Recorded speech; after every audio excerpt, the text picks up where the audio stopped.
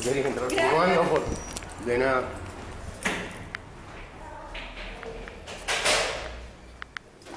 ¿Cómo están? Subo por la escalera porque estoy fumando. No, prefiero no. Te agradezco igual. No, es para no molestar, posta.